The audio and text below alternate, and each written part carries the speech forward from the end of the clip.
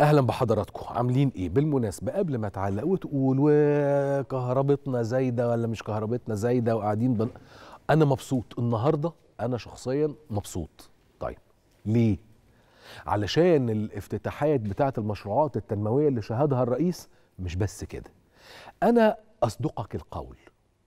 أنا لما بلاقي وإحنا بنتفرج كده ونشوف الرئيس آه مبتسم أو يتجاذب أطراف الحديث أو يبدأ يضحك مع الحاضرين ببقى مطمن. ليه؟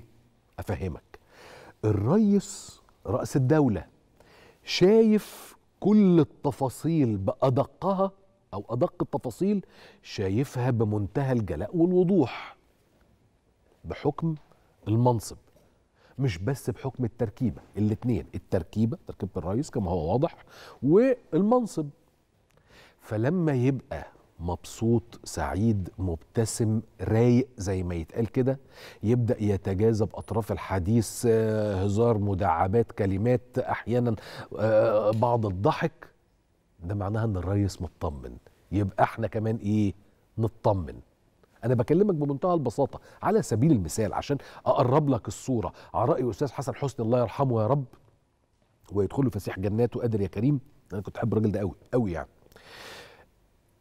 حضرتك بتشتغل عندك مدير المدير إذا رايق ده معناه إيه؟ إن الدنيا هتبقى زي الفل. الدنيا هتبقى رايقة هتلاقي الإدارة حلوة المكتب حلو الشغل هيبقى لطيف اليوم هيمشي حلو. لما المدير يبقى رايق جدا أو عنده تفاؤل ما أو استشراف ما قد تطلق عليه تفاؤل أو إنه في شيء جيد فأنت بتبقى مطمن على الشغلانة مطمن إنه إحنا مثلا الإدارة بتاعتنا محققة المستهدف التارجت آه، ممكن مثلا مش عارف أرباح آخر السنة حاجات كده يعني. هي نفس القصة. الرئيس إحنا بنصف دايما رئيس الدولة بيبقى القيادة السياسية. فقائد الدولة الحمد لله والشكر لا إله يا رب يديمها عليه ويديمه علينا بالمناسبة. الرئيس الكويس الشريف الفاهم الطيب. نعمة. رزق بجد زي ما أنتم بتقولوا كده في المقولة اللي بقت شائعة كتير خلال الفترة اللي فاتت يعني. ده بجد. فنقول كده ربنا يديمها علينا نعمة. لأنه ساعتها إحنا عارفين الدنيا ماشية إزاي بإذن الله وإنها بإذن الله تمشي في سكة حلوة. زي ما أنا بتمنى بالمناسبة للسودان إنه بإذن الله هم دلوقتي خارجين من مرحلة إلى مرحلة بإذن ربنا سبحانه وتعالى أكثر اشراقا وأكثر تفاؤلا. وبإذن الله بإذن الله السودان ده يبقى من أحلى ومن أجمل ومن أفضل ومن أقوى بلاد الدنيا. مش بس إفريقيا السودان أصله في القلب المصري حاجة تانية خالص. مصر والسودان والسودان ومصر واحد شعب واحد وحضارة واحدة وتاريخ واحد وقلب واحد وروح واحدة وذكريات واحدة ووجدان واحد. بس هرجعك على النهارده. فخامة الرئيس عبد الفتاح السيسي شهد افتتاح العديد من المشروعات في نطاق محافظة الإسكندرية. حلو نطاق محافظة الإسكندرية دي؟ آه أقول لك. عبر تقنية الفيديو كونفرنس تم افتتاح تطوير محطة مصر ده واحد.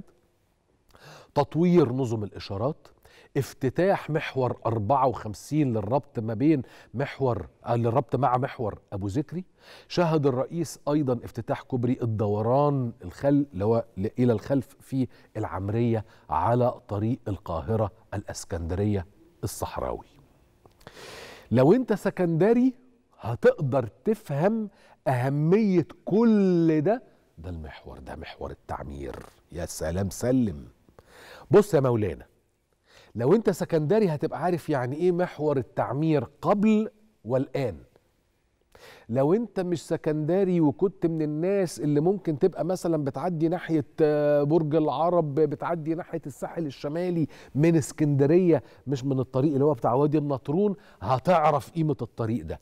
لأنك انت هتبقى فاهم كويس إن الطريق ده اتساعه في الاتجاه الواحد. لو انت رايح مثلا ناحية برج العرب ورايح ناحية الساحل الشمالي وما إلى ذلك هو مش حارتين كان هو كان حارة ونص.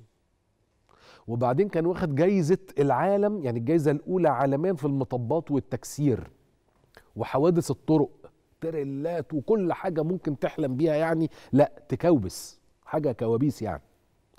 التغيير اللي حصل في الطريق ده اللي إحنا نسميه محور التعمير اللي هو محور أبو ذكري مية. كويس؟ الطريق ده سبع طرق يمين وشمال. آه سبع حارات يمين وشمال. بعد ما كان حارة ونص يمين حارة ونص شمال. تقول لي هو في حاجة اسمها حارة ونص؟ أقول لك أدي الله أدي حكمته. هو كان اتساعه حاره ونص.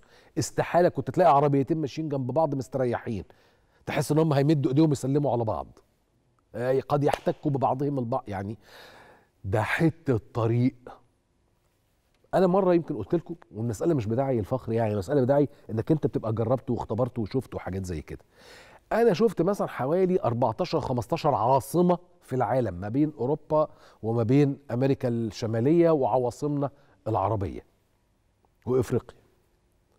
والله الطريق ده الطريق ده زيه زي أتخن طرق موجودة في أوروبا الإسكندنافية يعني دول الإسكندنافية في أوروبا اللي هي أحلى بلاد في أوروبا بالمناسبة يعني. طيب يمين وشمال بقى الطريق.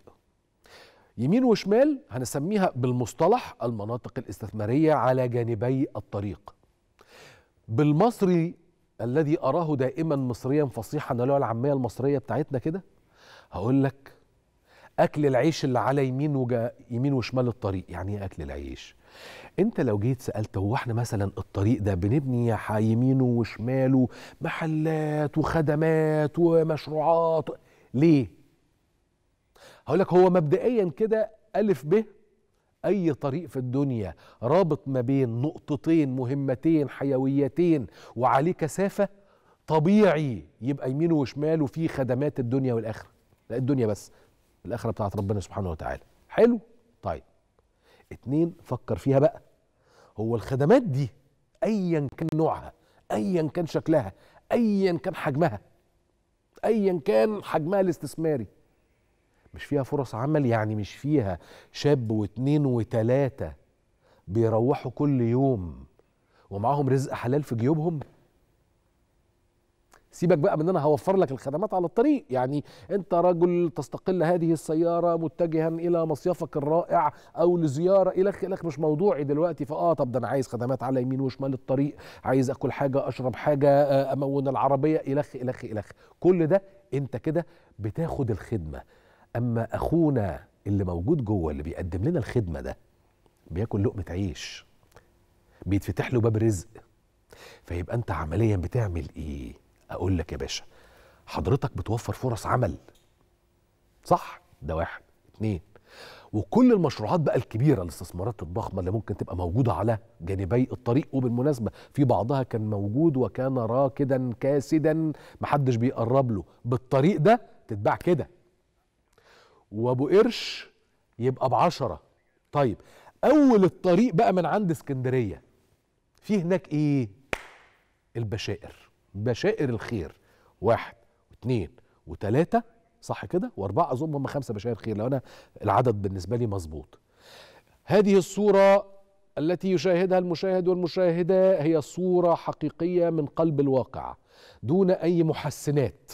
لا محسنات بديعية ولا محسنات صورية ولا أي حاجة. دي الصورة اللي بجد. دي الناس اللي سكناها هم أهالينا اللي كانوا زمان ساكنين في مناطق غير مخطط ليها ومناطق خطرة من محافظة اسكندرية فيروحوا يقعدوا في هذه المشروعات.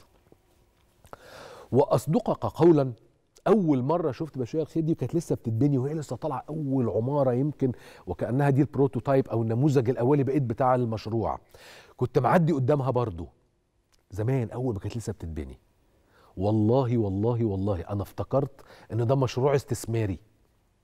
يعني تمام نروح نشتري هناك شقة أشوف ألاقي عمارات ما شاء الله عملاقة الله الطرق اللي فيها آخر شياكة دور العبادة موجودة الكنيسة موجودة والجامع موجود الخدمات بتاعتها موجودة أحوالها المدنية مصلحة الأحوال المدنية موجودة البوسطة موجودة المطافي موجودة الاسم موجود. بعد الشر عن الجميع الإسعاف موجود كله موجود. سكن كريم لكل المصريين. ده كان وعد قطعه الرئيس على نفسه. سؤالي والوعد قدام حضرتك أهو صح؟ تراه رؤى العين. ده هو ده بقى ال concrete. انت عارف المصطلح كده في إنجليزي لما يحب يقول لك إنه الحاجة واقعية ملموسة فيقول لك دي concrete fact أي حقيقة concrete هنا بقى لو ترجمتها بالترجمة الحرفية خرسانة. هي دي بقى بجد الترجمة الحرفية والترجمة البلاغية. هي concrete fact هي حقيقة ملموسة واقعة. اللي انت شايفه ده المساحات الخضراء؟ الحاجة اللي تضمن للبني آدم اللي هيسكن أخونا ده اللي هيسكن هناك ده هو ساكن هو آمن هو لو يحتاج خدمة طبية موجودة ممارسة شعائره الدينية موجودة آه، خدمات موجودة سواء إذا كانت بقى هيشتري أي شيء. مدارس إلخ إلخ إلخ إلخ حدث ولا حرج. هي دي بشاير بشاير الخير. فعرفت يعني إيه؟ وعد الرئيس ووعد الجمهورية الجديدة يتحول إلى واقع ملموس طول الوقت ودي مش أول مرة. دي المرة يمكن المئة ألف. كل اللي أنا بطلبه من حضرتك. تبص بعينيك وتفتح ودانك. سيبك من يوسف. سيبك من كل زملائي الأعزاء الكرام. سيبك مننا كلنا. حضرتك شاكك؟ مش مصدق؟ ولا حاجة. هو مشوار بسيط. حضرتك هتروح وتتفرج بنفسك. عاوز تستنى لحد فصل الصيف؟ استنى. آه سكندري الموضوع مش هيكلفك أجرة على رأي الإسكندرانية المشروع ميكروباص عندنا بتوع مع القاهرة. بس. والسلام عليكم ورحمة الله وبركاته. تعرف المشروع؟ إسكندرية يقولوا على الميكروباص مشروع. إحنا نقول ميكروباص. مش عارف ليه بس يعني أو عارف بس دي حدوتة تانية. عارف عارف يعني بس دي حدوتة تانية بحكيها لكم بعدين. حدوتة حلوة بالمناسبة مش حاجة وحشة يعني. وأنا عمري قلت حاجة وحشة ده اسمه كلام. المهم يعني عايز أرجعك على إنه عزيزي المواطن العظيم بعد إذن حضرتك كل اللي مطلوب منك إنك اخطف رجلك وروح إذا مش عاجبك كلامنا إذا مش مصدق كلامنا إذا حد مشككك في كلامنا. خد بعضك خطفة رجل سريعة بص بصة وارجع. ممكن بعد إذن حضراتكم هنشوف ونستمع إلى مقتطف من كلمات الرئيس وهو يتحدث عن كيفية وضع الدولة لعوامل النجاح والاستدامة في المشروعات اللي بتقوم بتنفيذها. تعالوا نشوف ونسمع. هذا المشروع ده على 1500 فدان ده رقم مش بسيط. ثم التصميم اللي معمول والإجراءات اللي اتعملت عشان يخرج المشروع ده في أبهى صورة. أنا بقوله كده ليه؟ لأن لما نيجي نعمل هنا تسكين أو سواء كان الإسكان المتوسط أو الاستثماري حطوا في الاعتبار إن إحنا حطينا كل عوامل النجاح والجذب اللي تخليكم حاسين إن أنتم رايحين على مكان بيوفر لكم كل شيء. بدءا من المكان نفسه وتخطيطه وتصميمه وتنفيذه طبعا ثم الوصول إليه. ونفس الكلام بالنسبة لل الجزء المشارف اللي إحنا حط آسف بشاير اللي إحنا حاطينه في المكان دوت. لما نيجي نتكلم هنا في اسكندرية على ما يقرب من يعني 140 ألف وحدة ولا حاجة البرنامج لسه ما خلص. حتى لو وصلنا ل 200 ألف وحدة لأن إذا كنا بنقول اسكندرية أربعة أربعة وشوية دكتور مصطفى فإحنا رايحين خلال مدة زمنية مش كبيرة قوي لرقم على الأقل يزيد له 500 ألف. أو مليون خلال كام سنة اللي جايين. وبالتالي الأماكن اللي, اللي تم دراستها عشان تعمل نمو إحنا عارفين إن داخل اسكندرية بقت الكتلة السكانية وكثافة البناء عالية جدا. أي حد هيفكر إن إحنا نكمل ده أو نزود ده جوه اسكندرية يبقى بنحط ضغط جامد جدا على مرافقها وعلى البنية الأساسية بتاعتها دكتور مصطفى. وبالتالي ما عندناش سبيل غير إن إحنا ننمو. خليني أقول لكم على نقطة كانت مهمة. كانت الدولة فكرت من كام سنة إن ال 18000 كيلومتر اللي قال لهم اللي هو أحمد كانوا كانوا كانت أراضي زراعية. الشرق كانت أراضي زراعية. الأرض اللي إحنا بنتكلم عليها دي اللي منهم 1500 فدان تحديدا دي أراضي كانت برك وسبخيه وكان كمان يعني مش هقول سر ولا حاجة. كان في خلاف بين المؤسسات الدولة على الأرض ديت. وهي أرض كلها إيه؟ مية يعني. طب ناخدها ونعملها للناس. نردمها ونعملها للناس. أه هكلفني زيادة شوية لكن في النهاية أنا ح- خلي بالكم من الكلمة اللي أنا بقولها. في النهاية أنا حافظت على الأرض الزراعيه يا جماعة. خدتوا بالكم من آخر جملتين. الأرض اللي اتبنت عليها بشار خير دي كانت أرض سبخية سبخات. يعني اللي هي لا منها مية ولا منها أرض. خلونا ناخد معانا على التليفون مهندس خالد صديق رئيس جهاز التنمية الحضرية. بأكد أهو الحضرية. مش كده يا باشمهندس؟ أكيد مساء الخير ازي حضرتك؟ ازيك يا حبيبي؟ إيه الأحوال؟ ده إحنا حظنا حلو. امبارح كنا بنعرض الخيالة في البرنامج وحضرتك آه. كنت معانا فكنت بقول مهندس خالد ساب لنا كمان مش بس وقته ده فضل يتمشى معانا في عز نقحة الشمس ما سابناش يعني. والنهارده إيه. كمان عندنا بشاير الخير. أنا يمكن جات لي ردود أفعال للناس آه، من حلقه امبارح ويعني إيجابية جدا والناس بيقولوا يعني آه، يعني الحلقة كانت جميلة ف متعودين دايما على كل حلقات معاك جميلة طبعا. هي جميلة جميلة بالإيدين اللي بنت وعمرت وغيرت وسكنت وحسست الناس إن هم ليهم حق في البلد دي يا باشمهندس خالد. والله يعني حق حقهم وجه متأخر ويمكن بنقول إن الدولة بتحاول يعني في وقت وجيز جدا بتقدم تأخير عشرات السنين إنها تقدم حقها فعشان كده التسارع في في في تقديم الحق الناس الناس هتحس بيه كويس. يمكن يعني عايزين نقول يعني حجم المصروفات بيتكلم في أرقام بتتكلم وتقول آه يعني بتختصر حكاية طويلة. لما نقول مثلا إن في خلال كام سنة عملنا الغير آمن وكان مصاريفنا فيه 63 مليار جنيه دي رقم بيبين حجم المجهود في مقابل إن من من أول ما اتنشأ الصندوق لغاية 2014 كنا بنتكلم في آه، رقم ضعيف جدا. يعني يعني عارف اللي بنتكلم في أرقام مش آه، يعني في استحياء إن إحنا نقولها. إن نقول مثلا ده الناس صرفت مثلا 2 مليار جنيه من آه، 2016 ولا من 2008 ل 2014 وبعدين من 2014 ليه بنتكلم النهارده 63 مليار جنيه وبنتكلم من السنة اللي فاتت لغاية 2030 معانا شغل ومهام تعادل التريليون 160 مليار جنيه. فتشوف شوف. يعني إيه الأرقام. ممكن لما تكون الناس مش عارفين نوصف أو يعني ما عندناش وقت نشرح للناس فالأرقام بت بتوضح قوي رؤية للناس. الدولة كانت فين وبقت فين. وحجم الإنفاق اللي بيتم على اتجاه واحد اللي الصندوق بيشرف بتنفيذه بقى كام؟ يعني إحنا كصندوق دلوقتي في إيدينا مشروعات تتجاوز التريليون 160 مليار جنيه منها عواصم. المحافظات القاهرة التاريخية حدائق الفسطاط آه، ال- ال- الغير مخطط يعني حاجات بنتكلم آه، آه، سقف الطموحات عالي ملوش حدود في, في, في, في اللي إحنا فيه دلوقتي في العصر اللي إحنا عايشين فيه لازم نستغل الفرصة والدعم ده عشان نقدر نوصل للي اتاخر على الناس سنين طويلة.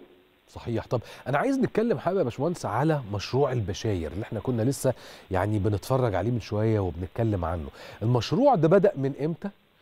وحجمه قد إيه؟ وتكلفته؟ وغيره بالمناسبة يعني اللي حصل في اسكندرية ما كناش نتصور لأنه اسكندرية كنا دايما نشوف إنه على مر عهود كثيرة آه، تتجمل ظاهريا من على الوش. دلوقتي الوضع مختلف وبالذات بالنسبة للفئات الأكثر احتياجا. يمكن اسكندرية من أكثر المحافظات اللي كانت آه، فيها مشاكل كبيرة جدا في التكدس السكاني. يمكن الناس كلها بتقول اسكندرية اسكندرية كان زمان الناس باصه للكورنيش فقط. والعمق الداخلي كله كان يعني مهترئ ف- فعايزين نقول إن إحنا يعني ال- ال- المشروع بادئ من أول ما سياده الرئيس أطلق في 2016 مبادرة القضاء على الغير آمن وتطوير المناطق داخل المدن فكان المشروع أطلق آه، واشتغلت مراحل بقى بشاد خير واحد واثنين وثلاثة وخمسة. خل- خلي بالك أنا فوتت أربعة. أربعة دي في البحيرة. فإحنا. واحد اثنين ثلاثة خمسة. واحد بعد كده خمسة دول اسكندرية. أربعة بحيرة. آه آه. وبعدين آه ستة سبعة ثمانية ده مشروع تنموي وتنمية عمرانية تانية خالص بمستوى تاني بفكر تاني بشكل تاني. مم. يعني الموضوع يعني مثلا لو اتكلمنا على واحد واثنين مثلا هنقول يعني مش- مشروع مثلا بشار خير واحد حصل تدرج في الموضوع. طبعا اللي بيقوم بيه الهيئه الهندسيه للقوات المسلحه القايمة بالم- بالموضوع ده مع محافظة ال- اسكندرية. آه، فاحنا بنقول وكان طبعا كان بدأ الموضوع ب قيادة المنطقة الشمالية العسكرية اللي بدأت في بشار الخير واحد. فبشار الخير واحد كان مثلا كانت 1630 وحدة تقريبا وبعدين بشار الخير اثنين آه، كانت 1869 ثلاثة وخمسة بقى بنتكلم في 25000 وحدة يعني أو تجاوز كمان يعني 25000 وكسور كمان آه. وحدة. فتخيل شوف ال ال ال الفكر بقى عامل إزاي شفت التطور اللي بيحصل عامل إزاي الطموح اللي وصلنا ليه.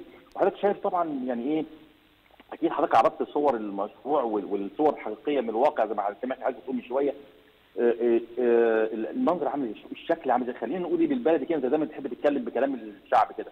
الشياكة إيه الجمال والذوق ده؟ يعني الحاجة فعلا معمولة مش بنستخسر في ال ال ال ال- ال- المواطن إزاي نديله حاجة جميلة. ومش أنا مش بتكلم هنا في الصندوق أنا هنا بتكلم كمواطن بيتفرج على حاجة وقامت بيها إحدى جهات الدولة الأخرى بنجاح شديد جدا. فبنتكلم على إن إحنا في منظومة متكاملة من التطوير العمراني والتنمية العمرانية على مستوى الدولة في جميع الجهات. وزي ما سياده الرئيس النهارده كان قال في رسائل مهمة قوي قوي قوي قوي الناس لازم تاخد بالنا بالها منها. الاستدامه والحفاظ على هذه المكتسبات. دي أهم رسالة اللي هي ال ال ال ال ال مش المهم البناء الأهم الحفاظ على المكتسبات اللي وصلنا لها صح. إزاي المشروعات اللي اتعملت دي نحافظ عليها؟ إزاي ننشئ لها أجهزة تديرها؟ إزاي يبقى في شركات صيانة تديرها؟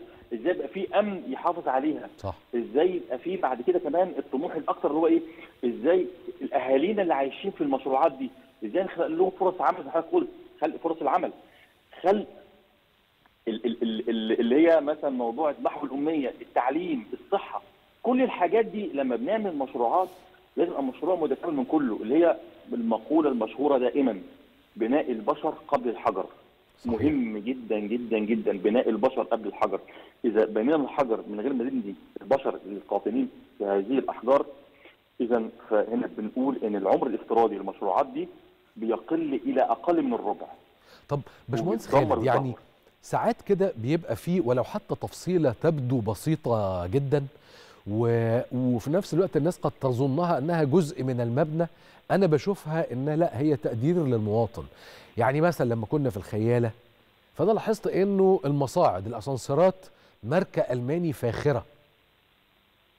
آه ليه؟ يعني إحنا يعني كان ممكن نجيب حاجة مش ألماني. يعني عايز أقول لحضرتك يعني إحنا بنعمل حاجة بنعملها يعني على أعلى مستوى. إحنا بنتكلم عن نفسنا وبنتكلم عن المواطن المصري وبنتكلم عن الاستدامة. لما بنتكلم مثلا حتى لما نيجي نعمل شغل خرسانات أنا بنعمل factor of safety بتاع بنحطه عالي جدا. زي ما السيادة سأل شوية إحنا بنشتغل في أراضي كانت معدمة ولا آه. تصلح لعمل شيء وكانت الناس بتقول إيه؟ أرض يكاد يكون قيمتها الاستثمارية zero. صح. بل بالعكس كمان بقى كانت في ممكن أماكن برك ومستنقعات وحاجات تبقى ما دون ال zero. بت- بتجيب أمراض بتجيب يعني بعض الحاجات اللي هي السيئة. طب إزاي نحول من ما دون ال zero ده لاستثمار؟ زي ما حضرتك قلت كده أنا بعدي أقول إيه المشروع اللي أنا عايز أشتري فيه ده؟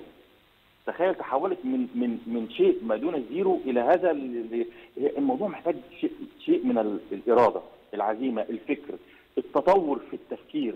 إزاي نشتغل بره الصندوق في الفكر نفسه؟ إزاي نحط حلول للمشاكل والصعاب؟ إزاي نقول إن في أرض مثلا الأرض دي تكاد تكون هي مصدر مشكلة ونحول مصدر المشكلة لفرصة. اللي هي دايما إحنا عندنا إيه؟ لما جينا حولنا الصندوق عملنا نقول إيه؟ في حاجة اسمها تحديات وفي حاجة اسمها فرص. إزاي نحول التحديات دي لفرص؟ صح. هي دي النهارده رساله إيه؟ أرض زي ما قلت في الأول كده إن أرض كانت سابخة وي وي وي. إزاي حولنا نقطة تحدي كبيرة جدا جدا قدام الناس؟ لمنطقة فرصة عظيمة وذهبية كمان مش فرصة عادية دي فرصة طبعا ذهبية. وتحولت لقيمة مضافة لكل ما يحيط بها وحولها أكيد طبعا إن يعني تخيل مثلا أنا واحد ساكن في منطقة وجنب المنطقة دي منطقة مستنقعات أو منطقة مقلب قمامة وتحول هذا إلى حديقة أو إلى مشروع راقي. اذا القيمة الاستثمارية للمكان اللي أنا عايش فيه عليت جدا ومكاني ارتقى من درجة لدرجة أخرى. كل دي حاجات مكتسبات للناس. في حاجات مكتسبات بصورة مباشرة ومكتسبات بصورة غير مباشرة. الصور الغير مباشرة إن واحد يقطن في مكان مجاور لمكان سيء بقى أصبح مكان راقي إذا فهذا مكتسب هو ما حصلوش حاجة في مكانه. ولكن المجاورة اللي ليه اديته مكتسبات عالية جدا. إزاي إن هو في مكان يعني آه، ما فيهوش خدمات؟ لا مدرسة ولا مستشفى ولا مركز طبي ولا ولا ولا ولا ولا. أم المشروع الجديد عمل المو... ال... ال... الحاجات دي ليه هو؟ زي ما مشينا في الخياله شفت في الخياله المشروعات الخدمية اللي كنا عاملينها إيه؟ هو أنا عامل نقطة إسعاف عشان 2500 وحده بس ولا عامل مركز طبي كبير عشان 2500 وحده ولا عامل نقطة ولا عامل مركز بريد كبير مكتب بريد كبير ثلاث أدوار على 1000 متر. صح. آه، آه، عشان ال 2500 وحده لا ده أنا عامله لمنطقة مصر القديمة كلها. مظبوط. اذا فالمشروعات الجديدة اللي بنعملها بنعمل بيها خدمات للمناطق المجاورة ليها المحرومة منها كل دي مكتسبات إزاي بنعمل دراساتنا إن المشروع الخدمات الداخلية مش لمشروع فقط يعني مثلا نعمل مشروع بينتج مليون رغيف مثلا في الأسمرات هل أهل الأسمرات هياكلوا مليون رغيف في اليوم أو 750 ألف رغيف في اليوم؟ ده للمكان لا. كله المنطقة ده إحنا للمنطقة نسد بيها احتياجات والعجز في بعض الخدمات الموجودة في المناطق الأخرى اللي. حواليها. دي حاجات كلها بتدرس بحيث إزاي إحنا بنعمل مشروع بيبقى بنقول يعني إيه بينور. يعني عارف تحط لمبة كده ولا تحط فانوس في مكان مكان منطقة مظلمه وفيها ناس بتخاف منها. ام منور ليهم كمان بقى, بقى نقطة إشعاع نور ليهم. اتغير الموضوع 180 درجة. فهنا بنقول لازم بنوصل في وكان كل ده في إيه؟ وقت زمني. طبعا حضرتك عارف وشفت بنفسك جميع المشروعات بتضغط إزاي مع الحفاظ على مع الحفاظ على المرة الثانية تبقى قرارها. على الجودة. أيوه. يعني بيبقى نقطة مهمة ال جداً. ال الوقت قياسي جدا وفي نفس الوقت الجودة أيضا قياسية. آه يعني الموضوع مش بس إيه الحق صب بسرعة لأ. صح. إحنا اللي بيخلص في ثلاث أيام بيخلص في يوم عشان بنشتغل ثلاث ورديات. يعني بيخلص ثلاث أيام بيخلص في يوم عشان بنشتغل ثلاث ورديات. آه. دي دي رسالة الناس تفهمها. بيقول لك إيه مش اللي بيخلص ثلاث أيام بيخلصوا في يوم في وردية واحدة. آه يبقى كده في خطأ في مشكلة هتحصل معانا. اللي إحنا إحنا إحنا بن بن بنخلي ال 24 ساعة شغل عشان نقدر نخلص ال- المطلوب مننا في الوقت الإعجازي. اللي مطلوب مننا. فبنحاول نقدر نوصل للجودة دي مع ال ال الزمن ده. مثلا يقول لي مثلا إيه واحد هيقول لي الراجل ده مش لا أنا فاهم كده. بيقول لك إيه ده المفروض إحنا بنصب السقف السقف ده بيقعد 28 يوم على الشدة بتاعته. آه عندك حق فعلا. بس أنا عشان ما أضيعش وقت معايا شدتين للدورين اللي فوقيه بشد الدور ده واصب واستنى شوية والخ- والشدة لسه موجودة على الدور التحت اللي تحت تحتيه. عشان الناس تفهم يعني إيه يعني إيه التسارع في الزمن بدون ال ال ال آه، نيجي على الجودة. دون الإخلال بمعايير الجودة والمتانة والكفاءة والحماية وما إلى ذلك. طب مهندس خالد آخر حاجة بقى أسألها عشان عارف إن أنا واخد وقتك كتير جامد وأنا اصلي زنان ورغاي وكده. عاي- عايز إنه تختصني بخبر مثلا يعني. إيه اجدد حاجة بيشتغل عليها جهاز التنمية الحضرية الآن حتى تصبح مكانا زيه زي ما كنا بنتكلم عن الخيالة زي ما كنا بنتكلم عن البشاير وزي غيرهم من عشرات المشروعات. إيه اجدد حاجة بتشتغلوا عليها دلوقتي؟ إحنا عندنا يمكن المشروع بتاع حدائق الفسطاط وزرناه مع بعض سوا.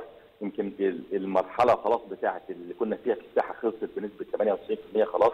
منطقة الأسواق خلاص قربت جدا إن شاء الله خلال ثلاث شهور تكون خلصانة فيه فهنفتحه مرحلي بإذن الله ال- المشروع ده عندنا بدأنا مشروع جديد اسمه جوهرة الفسطاط قدام حدائق الفسطاط. خلاص بدأناه وده إن شاء الله هيبقى مشروع يعتبر مضموم لحدائق الفسطاط هو ده الكتلة السكنية بتاعت حدائق الفسطاط نفسها دي يعني. ال- الخبر الثالث إن إحنا إن شاء الله في خلال الشهر ده هنكون آه، آه، أول أول باكورة إنتاجنا من مشروعاتنا السكنية في آه، مبادرة تطوير عواصم محافظات المدن الكبرى هي مبادرة دارة. حلو. آه، ده يمكن حد أول ما حد يسمع إن إحنا عايزين قريب خلاص بمبادرة دارة إن شاء الله. دي دي دي دي هتبقى فين؟ في أي محافظة؟ إحنا شغالين دلوقتي في 13 محافظة نازلين التسويق بتاعنا أو أول مرحلة للطرح في تسع محافظات إن شاء الله. و يعني إن شاء الله الناس هت- هت- هتجد حاجة يعني على أعلى مستوى جوه المدن. أنت أنا كده عرفت. مرة فاكر و- أنت مرة لومتني وقلت لي طب أنت يعني الأهالي اللي عايزين يشتغلوا جوه المدن اللي عايزين يشتروا جوه المدن وأنت مش محقق لهم فإحنا بنعمل مشروعاتنا جوه المدن الاستثمارية لصالح الأهالي اللي عايزين يشتروا جوه المدن. حلو قوي قوي قوي في حد منهم في الغربية صح؟ الغربية آه. آه. بس الغربية في العجيزي اللي بدأنا فيه آه ده خلاص ده لاهالينا مكان حتة اسمها تل الحدادين. إنما عندنا في في المحلة آه مشروع كبير إن شاء الله هيبداوا إن شاء الله. المحلة دي اللي هتبقى. المستعمره مش كده؟ أيوه حضرتك عارف هو تمام مظبوط. آه، هناك في المستعمرة 68 فدان هنبدأ مشروع فيها حاجة راقية جدا جدا وإن شاء الله إن شاء الله يعني الناس يعني يعني إحنا إيدينا هتطول كل حتة. يعني إحنا شغالين في سوهاج وقنا على فكرة عندنا مشروع في سوهاج مشروع في قنا وعندنا في في المنيا يعني بكلم في الجنوب أهو عشان الناس تقول لك دايما ال- الصعيد مظلوم. لا إن شاء الله إيدينا ممتده لتحت وهنوصل لأسوان بإذن الله. عندنا في كفر الشيخ آه، عندنا في المنوفية عندنا في الشرقية عندنا في دمياط. يعني إحنا هنشتغل في ال 27 محافظة بس بكلمك عن المحافظه اللي اشتغلنا فيها مرحلة عاجلة كمان. مش مرحلة أولى دي المرحلة العاجلة ب 114000 وحدة. يعني إحنا بنقول المرحلة العاجلة 114000 وحدة. ونسبة على فكرة أنا بطرح المشروع وإحنا نسبة تنفيذنا فيه حوالي 80% يعني يعني اللي اللي هيفكر يشتري شقته ده هيروح يتفرج عليها يقف في البلكونة يتفرج هو هيسكن فين.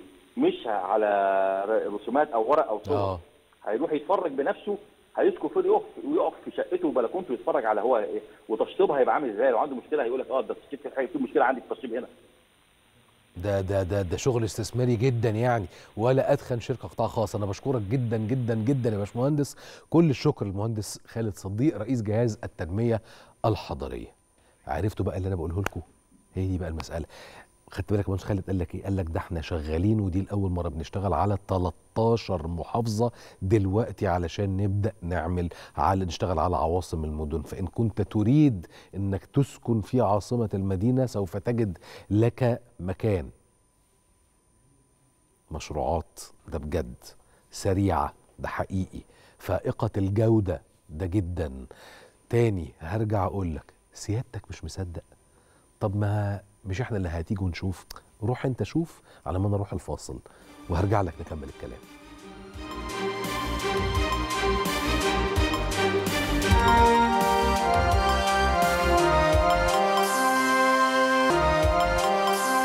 أنا بس ليا توصية عايز أقولها للناس اللي عندهم إسكان آه، زي بشاير كده والأسمرات وأهالينا وكده. المحافظين اللي عندهم الأراضي دي ال- المساكن دي يا دكتور مصطفى. أنتوا بتاخدوا آه، رقم من السكان عشان الصيانة وعشان كده. وأنا بقول لكم عشان ما حدش يعني إيه يبقى وبسمى حتى مواطنين اللي موجودين في ال في ال في السكن ده. آه، السكن اللي موجود ده قيمته قيمته آه، لو إيجار قد الرقم ده خمس ست مرات. أنا بقول كلام لا صحيح. يعني أنا عايز أقول لكم أنا بقول كده ليه؟ أنتوا ال- المحافظة اللي في نطاقها مساكن بالطريقة دي من فضلكم آه، دكتور مصطفى إحنا لازم نعمل صندوق لصيانة هذه المباني. والمباني الفلوس دي محدش يقرب لها. يعني يعني ليها مصاريف محددة يعني. فهي عشان إيه؟ النهارده العمارة شكلها كده وكويسة. طب بعد آه، شهرين ثلاثة أربعة الأسانسير اللي فيها آه، احتاج حاجة. الناس اللي فيها يمكن مش هت هيقعدوا بقى يلموا من بعضهم إحنا بنعمل إيه؟ مفيش كلام من ده. وبالتالي لازم يكون للمناطق ديت أنا بأكد الكلام اللي قلته قبل كده في افتتاح أول مرحلة. لازم يكون لها قيادة تسيطر عليها وتدير شؤونها. والكلام ده بالتنسيق مع ال- المحافظة والمنظمات المجتمع المدني الجمعيات الأهلية. لو سمحتم. إحنا دورنا مش فقط ان إحنا نوفر سكن للناس دي ونسيبهم. لا وزارة الثقافة وزارة الشباب وزارة التضامن المحافظة وزارة الداخلية القوات المسلحة الجمعيات الأهلية. من فضلكم إحنا عملنا خطوة لكن في خطوات تانية. خطوات تانية إيه؟ ان إحنا نساهم في تطوير هذه يعني المجتمعات. طيب أتمنى أتمنى تكونوا حضراتكم سمعتوا كويس قوي جدا خالص كلام فخامة الرئيس. ليه؟ الكلام ده عمليا تعالى أقول لك كده هو يعكس فلسفة ما فكرة ما جزء من فلسفة الحكم الجديد في مصر جزء من فلسفة الجمهورية الجديدة اللي هي إيه يا عم يوسف ما تتفزلكش علينا. والله يا فندم ولا عايز أتفزلك ولا حاجة. بمنتهى البساطة كده إحنا مش بنبني العمارة وناخد بعضنا ونروح. مش بنفتح المشروع وناخد بعضنا ونروح. مش بنبني المصنع وناخد بعضنا ونروح. مش بنعمل المينا وناخد بعضنا ونروح. لا. هنا الرئيس قال لك إيه؟ هي خطوة. لكن هي لازم تستكمل. تستكمل إزاي؟ بالحفاظ عليها. يعني إحنا بنينا ده اذا هو مكتسب. طيب نحافظ عليه يعني إيه؟ يعني أو استمراريته. يعني لازم نحافظ زي مثلا ما قال فخامه الرئيس قال لك ما هو العمارة دي لازم تفضل على نفس الحال اللي سلمناها بيه. يعني تفضل العمارة بتاعتي شكلها كويس متينة سليمة. آه، دهاناتها الخارجية تمام عزلها يفضل تمام. الرئيس ضرب المثل مثلا بتاع الأسانسير ده لو عطل يبقى لازم نعرف نصلحه. خدت بالك لما أنا كنت بسأل المهندس خالد صديق قلت له ليه بنجيب أسانسيرات ألماني؟ وتاني أنا علقت وقتها وقلت إيه قلت يا جماعة خلي بالك هي دي حاجة متعلقة بالبني آدم مش متعلقة بالمبنى. أسهل حاجة في الدنيا الدولة تسترخص وتروح تجيب لك أسانسير ماركة سكة من مصنع سكة وكل سنة وانت طيب وبعدين ما إحنا بندي لك الشقة كده حاجة ببلاش كده. ومتشطبة ومفروشة. والطريقة بتاعته هو أنتوا هتنهبوا ولا إيه؟ ما كده 100 فل. لا. اولا المواطن ما بينهبش. المواطن بياخد جزء من حقه. حقه المغبون تقريبا خمسين سنة من عمره ومن عمر البلد دي. مغبون. لا مغبون إيه؟ المواطن اتظلم واتداس عليه خمسين سنة. عدد كبير جدا من المواطنين. جدا. جدا. وصلوا إلى مرحلة عوز مش فقر أوحش. فيبقى حقه عليا إن أنا أديله الحاجة حلوة. أحسسه هنا بقى دي فكرة ليه أسانسير ألماني؟ أحسسه إنه أنت لازم تستخدم أحسن حاجة. أحسن حاجة. فاللي أنا عايز أقوله لك ليه بقول لك الاسانسير عندنا إحنا هو إحنا المسألة اللي بيبني عمارة بيقرر إنه يعني بيمسك إيده على قد ما يقدر. ويقول لك والله أنا هستثمر أكتر في تشطيباتي ده نعمل خرسانات. لأ المباني اللي عملتها الدولة العمارات السكن اللي عملته الدولة هو بحق يترجم مسألة سكن كريم لكل المصريين. فلما بجيب الاسانسير الألماني ده أنا عايز أرضيك. مش أرضيك. ما أنا هرضيك بالاسانسير ال- اي كلام. أنا عايز أرضيك. عشان أنا عايز أراضي ربنا. وعايزك تبقى أنت عارف إن أنت هتاخد أحسن حاجة. ما تجيش تقول آه هو علشان يعني الشقق دي من بتاعة الدولة فجايب لنا أسانسير أي كلام. ولا مشطب لنا مش عارف إيه. ولا حط لنا مش عارف مقابض أبواب عاملة إزاي بتتقطن. واخد بالك؟ طيب خد بالك بقى تاني. انعكاس لفكرة فلسفة الجمهورية الجديدة أو لفكرة من أفكار أو لفلسفة من فلسفات الجمهورية الجديدة. كانت في رأسه يقول لك لازم نعمل صندوق لصيانة كل هذه المشروعات ومحدش يلمس فلوس الصندوق ده إلا في المصارف السليمة بتاعته.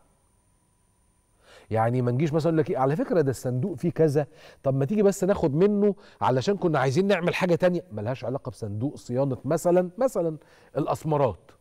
لا. صندوق صيانة الأسمرات لصيانة الأسمرات صندوق صيانة البشاير لصيانة البشاير صندوق صيانة كذا أهالينا لصيانة أهالينا إلى آخره.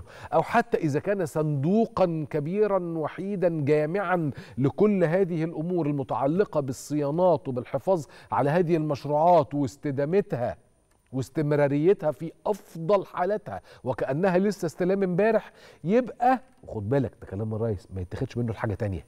هو معمول للغرض ده بس. فهمتني؟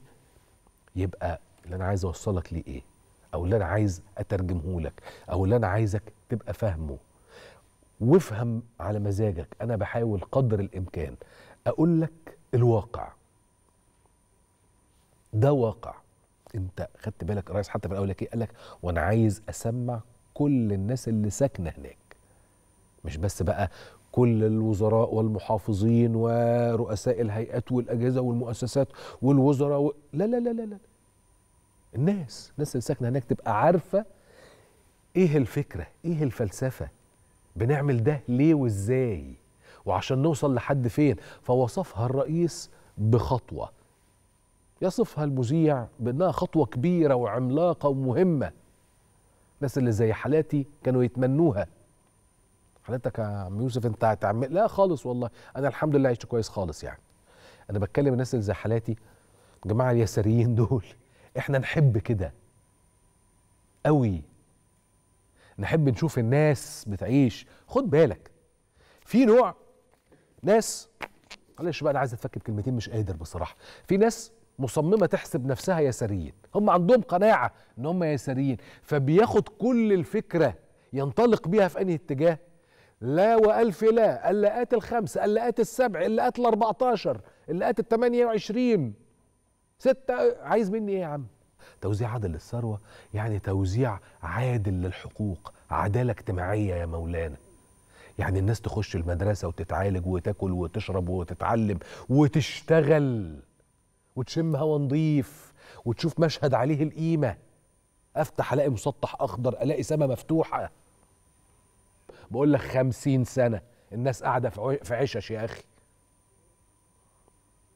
فيتنقلوا من العشش إلى هذه البيوت وليس تفضلا ولا تكرما من الدولة. ده في محاولة لإعطاء الناس حقها. دي اشتراكية. لما أدي للناس حق العمل دي اشتراكية. لما ادي للناس حق التعلم والتعليم اشتراكية. حق العلاج اشتراكية. الناس الشيوعيين اللي زي حالاتي أنا بقى أصلا مش اشتراك أنا يعني أصعب حبه حق ممارسة الهوايات اشتراكية. حق ممارسة الرياضة اشتراكية. إن أنا يبقى في عندي نادي مركز شباب مكان أتعلم فيه الرسم أتعلم فيه الموسيقى أتعلم فيه النحت شغل الصلصال آه، أتعلم أعمل أي حاجة شغل الإبرة السجاجيد أي الفنون والرياضة هي عند الشيوعيين أساس. مش لا أرفض أشجب أندد. حبيبي أرفض وأشجب وندد وعملتها قبلك بكتير. وانت لسه نونة. لسه نونة قاعدة على حجر مامي. لكن لما الاقي بقى إنه الدولة بتاخد المواطن بالحضن ومش بتقول له بتفضل عليك ولا تتعالى عليه وتقول له ده حتة من حقك. واصبر كمان هديلك أكتر وأكتر علشان ده حقك عشان أنت مواطن. فخامة الرئيس السيسي وهو بيقول إيه بقى؟ الدولة تعمل بكافة القطاعات. ومعلومات المشروعات متاحة للجميع. عايز تعرف؟ اتفضل. أهلا وسهلا. ادخل على البوابات بتاعتنا. اتفرج على برنامج التاسعة. مثلا بس الرئيس ما قالش كده. لكن أنا هقول لك كده. خلونا نسمع فخامة الرئيس قال إيه وبعدين نرجع نكمل الكلام. ان قطاع زي الزراعة أنت ما بتشوفوش. ليه؟ لأن هو يعني مين مين مننا من المواطنين إلا اللي بيشتغلوا في القطاع ده. أنا بتكلم ال- اللي إحنا بنعمله زيادة.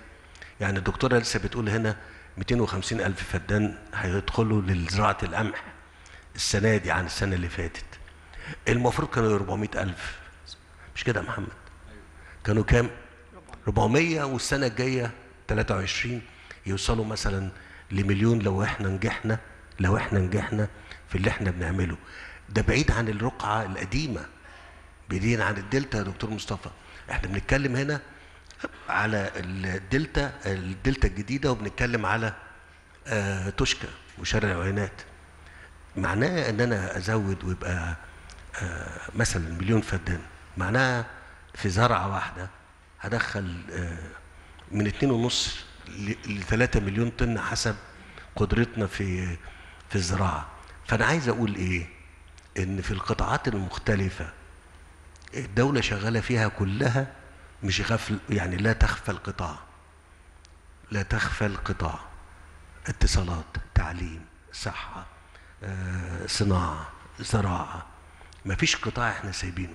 بس وأنا مش هقول إن الإعلام ما بيغطيش ده فمن فضلكم غطوه كويس. لا مش هقول كده. لكن أنا بقول للناس ما ما تتعودوش ترددوا اللي بيتقال لكم يترمي لكم كده فانتوا تاخدوه وتقولوه. لا. مع الوضع في الاعتبار إن البيانات دي كلها متاحة برضو على موقع آه، مجلس الوزراء وعلى الوزارات ال- ال- المختلفة. يعني لو دخلت على النقل هتشوف دخلت على الكهرباء هتشوف دخلت على الزراعة هتشوف أو على الموقع بتاع رئاسة الجمهورية. توقفوا كتير قوي على اننا آه، كدولة نوفر مليون فرصة عمل سنويا زيادة عن دلوقتي.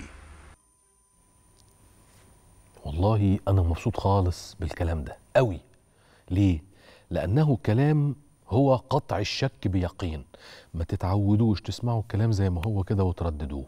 لأ اعرف وحقك تدور والمسألة سهلة. يعني ده اللي كان بيتكلم فيه فخامة الرئيس. ادخل على الموقع بتاع مجلس الوزراء وادخل على موقع كل وزارة وادخل على موقع رئاسة الجمهورية وهتلاقي كل المعلومات متاحة.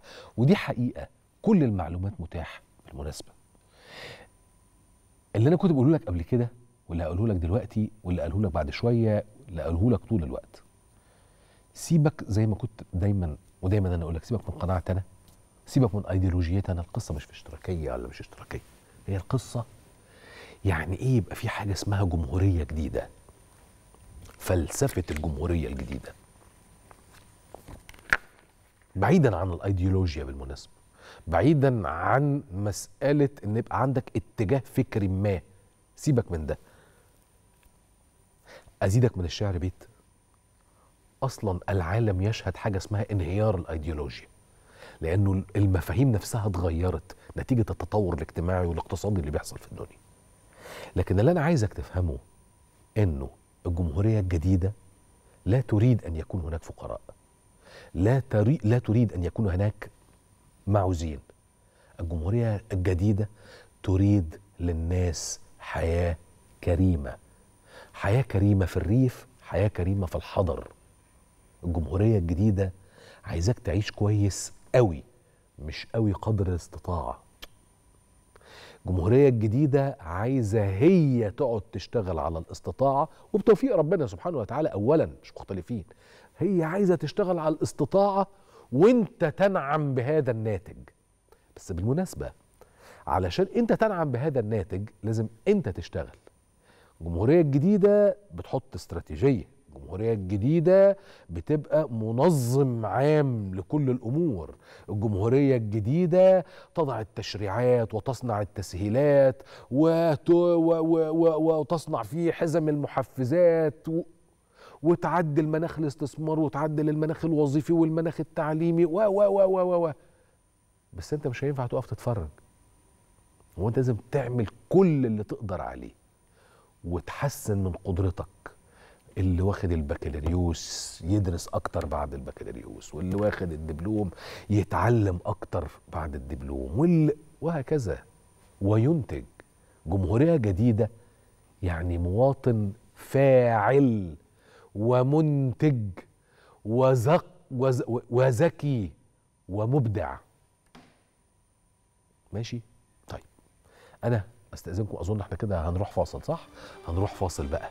قابلنا نريقي بشوية قهوة من دول ونرجع نكمل الكلام.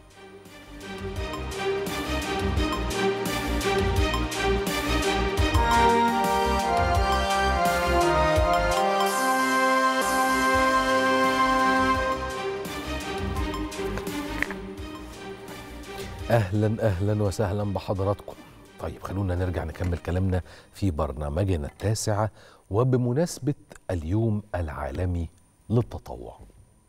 وجهت السيدة انتصار السيسي قرينة فخامة الرئيس عبد الفتاح السيسي تحية للمواطنين الذين يعملون ليلا ونهارا لبناء وطنهم دون انتظار مقابل وده بمناسبة اليوم العالمي للتطوع. سيدة انتصار السيسي قالت عبر حسابها الرسمي على فيسبوك نصا تحية إلى كل أيادي الخير في مصر الذين يعملون ليلا ونهارا لبناء وطنهم دون انتظار مقابل. إنني أتوجه إليكم في اليوم العالمي للتطوع بكل الشكر والتقدير فأنتم أمل مصر ومستقبلها. هنا تنتهي آه، يمكن تهنئة السيدة انتصار السيسي قرينة فخامة الرئيس. و- وبالمناسبة فعلا التطوع هو إنك طول الوقت بتدي من وقتك ومن حياتك ومن أفكارك ومن مجهودك طول الوقت دون انتظار أي مقابل مادي خالص. أنت كل اللي أنت عايزه إنه المجتمع ده يبقى أفضل. المجتمع ده يبقى أحسن. المجتمع ده يتطور ويصل إلى أعلى درجات التطور في المجتمعات البشرية كلها. علشان كده تاني وبرضه عايزك تضيف ده بعد إذن حضرتك لمسألة فلسفات الجمهورية الجديدة. فكرة الجمهورية الجديدة كفكرة كبيرة شاملة جامعة. هي فكرة ثقافة التطوع فكرة إنه أنت تعطي الوطن طول الوقت. فكانت حياة كريمة على سبيل المثال يعني. ما انت لما تيجي تقعد تفكر حياة كريمة دي اللي اتغير من حياة 58 ولا 59 ولا 60 مليون مواطن يمكن عند انتهاء مرحلتها النهائية. اللي قايم عليها شباب ومتطوعين زي كده اللي عملوا مؤتمر شرم الشيخ كوب 27 ما تنساش القصة دي بالمناسبة. يعني مش عايزك تعتبر إنه كوب 27 في شرم الشيخ خلص فخلاص لا. انت بتتكلم على شبان قاموا بجهد العالم حياهم عليه. تطوعا. حياة كريمة تغير من حياة تقريبا 60 مليون مواطن. بإيدين إيه؟ متطوعين. إزاي غير شباب حياة كريمة؟ وش مصر اللي زي القمر فخلوه أكثر جمالا بالعمل التطوعي. إزاي بقى؟ نفهم. وردة الهلاوي منسق ميداني لمؤسسة حياة كريمة بالدقهلية أهلا أهلا بيكي. أهلا بحضرتك يا أستاذ يوسف. مساء الخير على حضرتك؟ وعلى جميع المشاهدين. إزاي أهلاً الحال؟ كله تمام. كله كويس الحمد يا لله. رب على طول. أنا دايما أقول إن مصر دي أصل وشها زي القمر. بس إيه بقى؟ محتاج يبقى جماله يظهر بزيادة. عملتوا إيه؟ الحقيقة البداية خالص كانت في المؤتمر الوطني السابع للشباب وكانت عبارة برضو عن شباب متطوعين بينظموا المؤتمرات زي ما حضرتك تشرفت المؤتمرات الوطنية ومنتدى شباب العالم. في 2019 عرضوا على سيادة الرئيس عبد الفتاح السيسي فكرة إنشاء آه، آه، أو فكرة حياة كريمة بوجه عام. والسيد الرئيس رحب بالفكرة جدا وتبناها وكانت أول مبادرة نزلناها هي رد الجميل واحد ونزلنا في 2019 في السيول اللي حصلت في الصعيد آه، نزلنا بمساعدات غذائية ومن بعدها بقى وصل رد الجميل اثنين وثلاثه وبعدين ارتقت بقى من فكرة لمبادرة لمؤسسة كاملة في كل المحافظات. مؤسسة بتخدم محافظات الجمهورية ككل لمبادرة حياة كريمة اللي بتخدم المحافظات اللي بتهدف للرقي بال- بالريف. آه، وفرنا خدمات كاملة متكاملة على محاور عدة. اشتغلنا على سكن كريم رفع كفاءة منازل بناء آه، أسقف بناء مجتمعات آه، سكنية للقرى الأكثر احتياجا آه، وصلات مية صرف صحي اشتغلنا على بنية تحتية مشروعات تفعيل يعني تفعيل دور المشروعات في القرى الأكثر احتياجا خدمات طبية شملت بقى مستشفيات بناء وحدات صحية قوافل طبية آه، لحد الخدمات التعليمية زي بناء المدارس وأكيد حضراتكم آه، تابعتوا آه، جميعا يعني تشريف سياده الرئيس لمحافظة الدقهلية ومدارس الحصص سواء الحصص الابتدائية أو الحصص الإعدادية.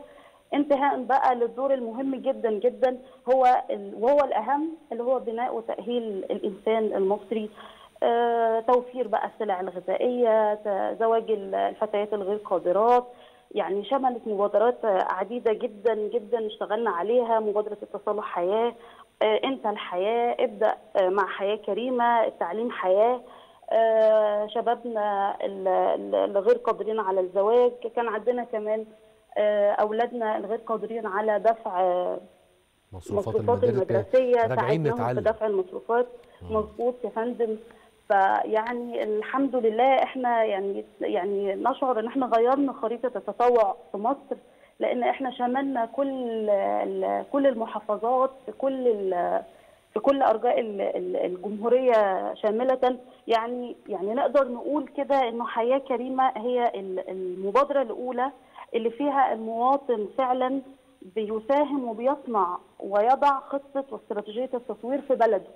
لأن شملت كل أنحاء الجمهورية متطوعين من كل أنحاء الجمهورية بيشاركوا بي بينزلوا في كل المبادرات. فيعني إن شاء الله نكون قدرنا فعلا نغير وجه مصر بالعمل التطوعي. بإذن الله. طب أنا عندي سؤال. يعني الرئيس دائما يتحدث عن مسألة الاستمرارية والاستدامة. بعد ما كل المشروع بتاع حياة كريمة في الريف المصري ينتهي بإذن الله على كل خير كده خلاص مفيش متطوعين في حياة كريمة؟ ولا أنتم مكملين معانا؟ علشان نحافظ على مشروعات حياة كريمة اللي هتتبني في كل الريف المصري. هو البداية آه، هدفها من المشاركه المتطوعين من من كل ربوع مصر إن إحنا نوسع المساحة التطوع فطالما مساحة التطوع دي واسعة كفاية فإذا في العديد من الآراء إشراك عديد من الآراء والأشخاص في في التخطيط عشان نحقق الأهداف دي. إحنا عندنا أهداف بنحققها للمستقبل وللحاضر. فطالما عندنا يعني قاعدة عريضة من المتطوعين في كافة ربوع الجمهورية في كافة أنحاء الجمهورية اذا إحنا قادرين إن شاء الله على الاستمرارية والاستدامة وتحقيق الاستدامة اللي بنهدفها دايما يعني. حتى بعد انتهاء المشروعات أكيد هيفضل في عمل تطوعي بصورة مميزة دايما. بإذن الله. أشكرك جدا جدا جدا يا وردة. وردة الهلاوي منسق ميداني لمؤسسة حياة كريمة بالدقهلية. مش عاوز آه، زمايلي يشيلوا الفيديو اللي أنا شايفه قدامي ده. خلوه رجعوه رجعوه النبي تاني. ليه هقول لك؟ بص إيدي ترعه صح. حضرتك فاكر الترعة دي كانت زمان عاملة إزاي ولا لأ؟ حاجة بسيطة. لمحة لقطة. ده مشروع تبطين الترع عشرات الآلاف من الكيلومترات. بقت كده بعد ما كانت منبع مرتع منبت. مخلفات اذا أمراض إلى آخره. كده بقت ترعى سليمة. اولا ما تسببلكش حضرتك أي أمراض. ما تبقاش على جوانبها المخلفات. آه، حضرتك تقدر تقعد على شط الترعة تصطاد سمك وانت مطمن. ما تبقاش قاعد قلقان. مش بقول لك انزل العب في المية يعني. بقول لك في النهاية على الأقل يا أخي هتقدر تبقى بتعدي على مكان ريحته حلوة شكله حلو حياة نظيفة كريمة صحية. خدتوا بالكم من البيوت؟ تاني هو إيه؟ البيت ده إحنا بنشيله وبنحطه مثلا. خالص. ده مش بيت المناسبات والله. ده بيت. برضه حياة كريمة. إيه هنشيل البيت على كتافنا وننقله قرى تانية؟ لا. مدرسة حياة كريمة. آه، شوية ممكن تلاقي مركز طبي حياة كريمة. آه، مهمات عاشة أكل وشرب حياة كريمة. طرق حياة كريمة. كملوا كملوا في الفيديو. هتلاقي ما مش عارف حاجات بتاعه الخدم ده مركز طب أسرة حياة كريمة. اللي فات عدى على طول ده كان حتى اليافطه مكتوب عليه. مركز شباب زويد. حياة كريمة. حياة كريمة كمان في سينا عشان بس نبقى متفقين. آدي كل القصة باختصار بمنتهى البساطة. دي حياة كريمة. الله ده بيحفروا علشان خاطر بيعملوا مواسير للصرف الصحي. حياة كريمة. بيبنوا ومباني حلوة ومتينة وخرسانات وصبات حياة كريمة. أهو. كل ده حياة كريمة بالمناسبة. طب حياة كريمة دي اللي هيقعد فيها مين؟ يقعد فيها أهالينا سكان تلك القرى. لا مش عايز أسمي تلك. تلك دي إشارة للبعيد. هذه القرى. عشان دول أهلي. هذه العزب أهلي. هذه النجوع أهلي. هذه الكفور أهلي. دي حياة كريمة بمنتهى البساطة. طيب خلوني أخدكم ونروح على حاجة لطيفة جدا برضو عجبتني عملتها وزارة الأوقاف. مشكورين بالمناسبة وده برضو استمرارية للعمل غير المتوقف والذي لم يتوقف ولا أتمنى أنه يتوقف أبدا. لا أتمنى. أقول لك ليه. في حاجات كده تقول إيه يا سلام؟ لو تقف بقى. اللي هي إيه؟ إن إحنا نساعد الناس اللي على قد حالها. طب عايزة تقف ليه يا يوسف؟ عشان مش عايز حد يبقى على قد حاله تاني. بمنتهى البساطة يعني. أدي كل القصة. حلم بقى مش حلم سميها زي ما تسميها. الأوقاف مشكورة يعني. بتعلن صرف 30 مليون جنيه لتجهيز ألف فتاة من الأسر الأولى بالرعاية. معانا على التليفون دكتور عبد الله حسن المتحدث باسم وزارة الأوقاف. أهلا أهلا أهلا يا دكتور. أهلا بسعادتك. أستاذ يوسف واهلا بالسادة المشاهدين. أولا خليني أشكرك وربنا يا رب يكرمكم زي ما بتكرموا الناس. اللهم آمين ربنا يبارك في سعادتك آه عايزين نعرف أكتر على مسألة 30 مليون. ما شاء الله ما شاء الله. وكما يقول الفرنجة تاتش وود 30 مليون؟ وأنا عارف إنه مشايخنا مش بتوع تاتش فرنجة والكلام ده. لله من باب المداعبة ليس إلا. ال 30 مليون لتجهيز ألف فتاة.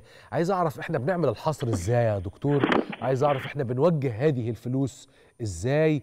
وإمتى بإذن الله سبحانه وتعالى ننتهي من صرف ال 30 مليون ويجي قدهم بإذن الله ألف مرة؟ طيب اولا خليني أشكر حضرتك على العرض اللي حضرتك عرضته وعلى آه، تسنيد حضرتك لما يتم من مبادره حياة كريمة.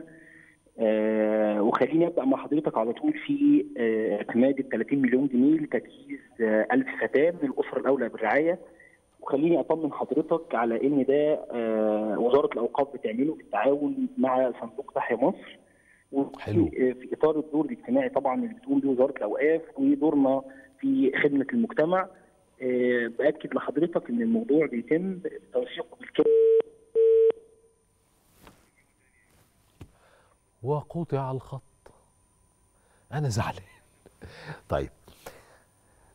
30 مليون. إحنا بنتكلم على ألف عروسة بإذن ربنا سبحانه وتعالى. يعني كل عروسة نصيبها 30 ألف. إن كنت من الناس التي ترى أن 30 ألف مبلغ زهيد فأنا أقول لك بسم الله ما شاء الله ربنا يبارك لك. يا معقولة أنت شايفهم أنه مبلغ قليل؟ ده معناها أن ربنا كرمك جدا ومراضيك جدا وفتح عليك جدا قوي خالص. علشان 30 ألف دي عند ناس كتير في بلدنا كبيرة جدا خالص. هنجهز بنت محتاجة زي ما نقول كده عندنا في البلاد في الأرياف يقول لك عايزينها تتسطر عايزين نسطر البنات. دايما يقول لك كده هنجوز الواد ونسطر البنات. فال 30 ألف دول هيسطروا البنت. ابن الحلال موجود أهلا وسهلا. الفلوس بإذن الله بتوفرها وزارة الأوقاف وزي ما قال لنا دكتور عبد الله بالتعاون مع تحيا مصر. وهنعود مرة أخرى أهو لدكتور عبد الله مرة تانية. منورنا مرة تانية يا دكتور. كمل يا فندم. حضرتك. كنت بطمن سيادتك إن آه تم الاعتماد لصرف المبلغ ال 30 مليون جنيه لتجهيز 1000 فتاة من الاسر الأولى بالرعاية وزي ما أكدت لحضرتك إن ده بيتم بالتعاون ما بين وزارة الأوقاف وما بين صندوق تحيا مصر، لكن أنا عايز ألفت نظر حضرتك لحاجة إن آه، وزارة الأوقاف ما زالت مستمرة في آه، دورها في مجال البر وخدمه المجتمع. خليني بس أقول لسيادتك كم نقطة كده صغيرين اتفضل. في خلال العام آه، 2022 إحنا كان لينا سابقة تعاون مع آه، وزارة التضامن ووزارة الزراعة في صرف 20 مليون جنيه دعما لمشروع توفير رؤوس ماشية من الأبقار المنتجة وده كان لصغار المربين وبالتعاون والتنسيق ما بين وزارة التضامن الاجتماعي وما بين آه، وزارة الزراعة. طيب نقطة هنا وفرنا كام رأس لحد دلوقتي آه، خليني أقول لحضرتك إن آه، إن ال- التنسيق اللي تم ما بيننا وما بين وزارة التضامن ووزاره الزراعة هيكون وزارة الزراعة هي يعني أكتر آه، آه، هتفيدنا أكتر أكتر دراية بال- بالعدد. طب أنا عندي سؤال معلش. العدد واللي تم في ال- التوزيع كمان طيب سؤال بسيط يمكن والنبي يطلع عندك الإجابة دي هبقى مبسوط قوي هي دي الرؤوس الجديدة اللي هي أكثر انتاجا للألبان أو أكثر انتاجا للحوم ولا دي آه. الرؤوس البلدي بتاعتنا اللي هي بنتكلم في خمسة وسبعة كيلو في اليوم ال- إحنا ممكن نجيب الر- الرد الأكثر دقة من وزارة الزراعة نفسها ماشي. أوكي. التنسيق اللي تم ما بيننا وما بين وزارة. التضامن ووزارة الزراعة إن إن وزارة التضامن بيكون عندها الكشوف المعتمدة اللي اللي بيتم من خلالها التعاون ما بيننا وما بينهم وما بين وزارة الزراعة اللي بتتولى بدورها إن هي آه، تنتقي طبعا الرؤوس دي وتكون هي أكثر دراية بإيه منها يكون أكثر انتاجا وإيه منها بيكون آه، بيدر لبن أكتر إيه منها بيكون سلالة آه، منتجة أكتر أوكي. وتكون نافعة أكتر آه، كان عندنا برضو خلال السنة دي في سنة 2022 آه، آه، مليون جنيه صرفناهم دعما لنقابة محفظي القرآن الكريم. ومن باب الدعم المهم جدا إن إحنا عندنا في وزارة الأوقاف قرض حسن ده بيكون بدون فايدة. إحنا صرفنا فيه 31 مليون جنيه قرض حسن بدون فايدة لعدد أكثر من 4240 موظف من التابعين لوزارة الأوقاف ومن موظفين الجهاز الاداري للدولة. وكان عندنا برضه من الأجزاء المهمة واللي كان فيها توجيه مستمر بإن هي تفضل مستمرة طوال العام اللي هي توزيع لحوم الأضاحي ولحوم الإطعام على الأسر الأولى بالرعاية آه، إحنا وزعنا أكثر من 1637 طن لحوم أضاحي ولحوم إطعام على الأسر الأولى بالرعاية بتكلفة يعني تقديرية تقدر ب 222 مليون و431 ألف. عايز أقول لحضرتك ان اجمالي اللي تم صرفه في مجال البر وخدمة المجتمع في عهد سيادة الرئيس يقدر بنحو 2 مليار و200 مليون جنيه. يعني منذ تولي السيد الرئيس عبد الفتاح السيسي زمام الأمور ورئاسة الجمهورية وزارة الأوقاف أنفقت في مجال البر وخدمة المجتمع ما يقرب من 2 مليار و200 مليون جنيه. ده الأوقاف بس. بس. والله حاجة خير وبركة. كمل يا فندم. آه، هضيف لسيادتك برضو كمان جزء إن إن آه، وزارة الأوقاف آه، صرفت 20 مليون جنيه سهاما في مساعدات آه، التي وجهتها الدولة المصرية لأشقائنا بدوله السودان. برضو كان عندنا مساهمة من وزارة الأوقاف مبلغ 10 مليون جنيه لمبادرة نور حياة. وكان عندنا برضو صرف 2 22 مليون لمستحقي الوقف آه، وكان عندنا كمان يا فندم آه، 21 مليون جنيه صرفناهم لتوزيع آه، 2000 طن سلعة غذائية على الاسر العليا بالرعاية وده كان في خلال شهر رمضان. أنا بس. حبيت ألفت الانتباه إن وزارة الأوقاف هي مش بس الدور متوقف آه، عند ال 30 مليون الاخرين اللي إحنا اعتمدناهم عشان آه، تجهيز الفتيات الأولى بالرعاية ل 1000 فتاة ولكن وزارة الأوقاف مستمرة في آه، دورها في مجال خدمة المجتمع ومستمرين بفضل الله عز وجل في دورنا في مجال البر وخدمة المجتمع في كل ما يفيد الدولة المصرية إن شاء الله. ما برضه وزارة الأوقاف وزارة من الوزارات الغنية يا دكتور أيوه هي الضحكة دي اللي أنا كنت مستنيها على كل غنية لخدمة المجتمع يبقى دي نعم. حاجة تسعدنا وده. المهم. أشكرك جدا يا دكتور عبد الله نورتنا وشرفتنا جدا جدا جدا دكتور عبد الله حسن المتحدث باسم وزارة الأوقاف المصرية. خليني أخدك على يمكن لما كنت بتكلم هنا في المقدمة وكنا بنتكلم على مسألة تفاؤلا وما إلى ذلك. ففي حاجات كتير بتبقى بالمناسبة مهمة قوي. ويمكن أنا اتكلمت حبتين شوية كده أو يمكن ما كانش كتير. ده بسرعة. اتكلمت عن السودان. والعلاقة مش بس التاريخية هي علاقة تاريخية وجدانية عقلية قلبية عاطفية شعبية سميها زي ما تسميها ما بين مصر والسودان. شعب واحد قلب واحد روح واحدة عقل واحد وجدان واحد. حقيقي ده بجد مش هزار. أي مصري أي سوداني عارف كده كويس قوي قوي علاقة شديدة الخصوصية ما بين البلدين دول وأتمنى إنها دايما تبقى شديدة الخصوصية. دايما. مصر رحبت في بيانها الرسمي الصادر عن وزارة الخارجية بالتوقيع على الاتفاق السياسي الإطاري بشأن الفترة الانتقالية في السودان. مؤكدة إن الاتفاق ده خطوة هامة ومحورية لإرساء المبادئ المتعلقة بهياكل الحكم في السودان. كل ده بقول لك انطلاقا من البيان. أنا لسه ما اتكلمتش.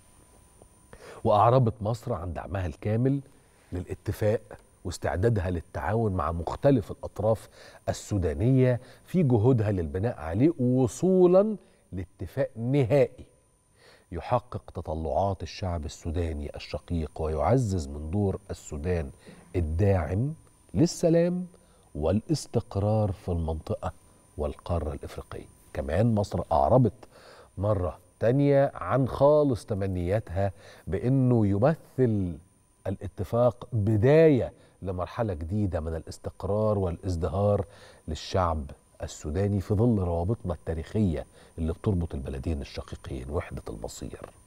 شعب وادي النيل العظيم.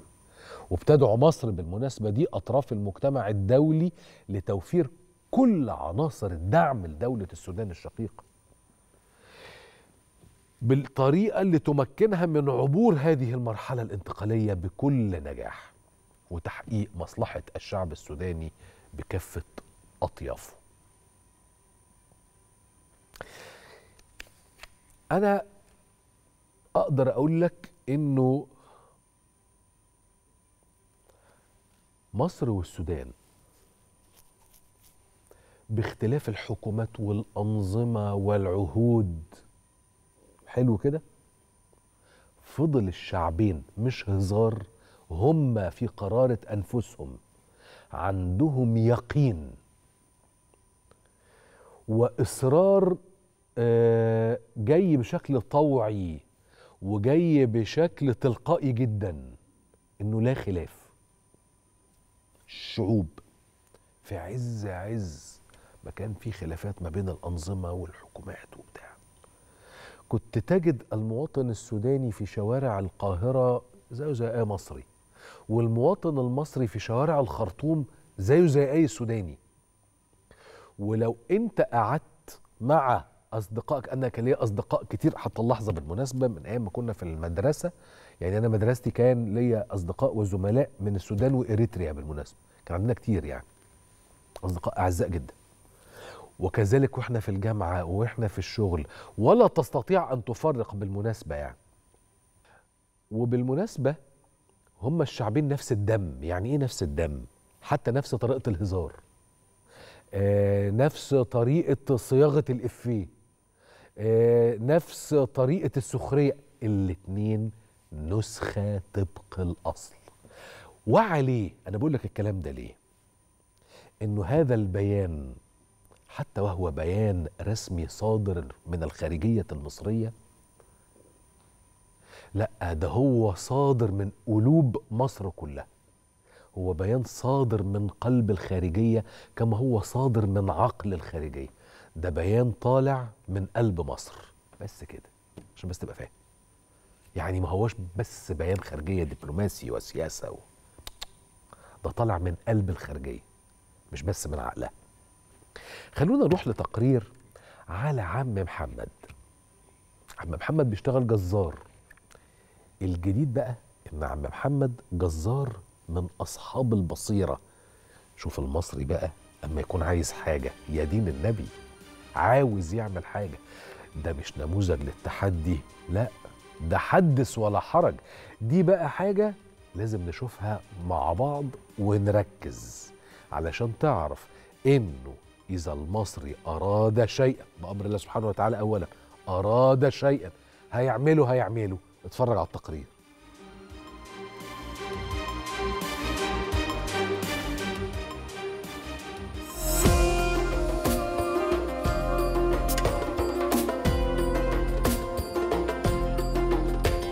بدايتي والله أنا كنت في المدرسة لغاية سنة خمسة كده أو سنة ستة مش فاكر عامة. وبعد كده ما جه آه، النظر طبعا آه، راح. آه، قلنا نمشي طبعا بنور الله طبعا قبل أي كلام. واشتغلت مع والدي في المحل جزارة عنده من حوالي مثلا عشر سنين أو 12 سنة. بعد كده فكرت إن أنا عملت برضو المشروع ده لوحدي. ورجعت خدت المحل دوت آه، وقفت فيه لوحدي طبعا. بشتغل فيه زي ما انت شايف كده برضو زي ما انت جيت وشفت.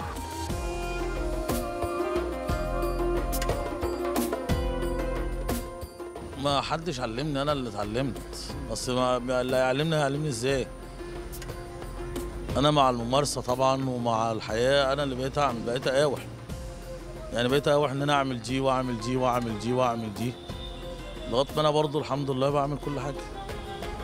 اقطع بالسكينة واوزن. الميزان طبعا عشان حساس بيبقى حد ورا اللي مثلا كده 500 كده كيلو. آه، أروح على المكنة برضو افرم اللحمة. فأنا برضو ب- ب- ب- ببقى ماسك حتة اللحمة عارف إن السكينة المسافة دي مش هتيجي على إيدي.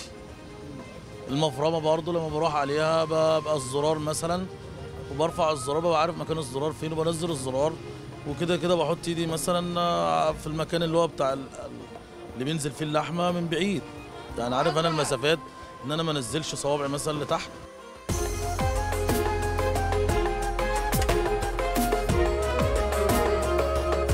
بسم الله ما شاء الله يعني عنده إحساس جميل ولما بيجي نازلين السوق بنشتري بهايم سوا أنا وهو وعنده إحساس أحسن مننا بالحاجة الحلوة.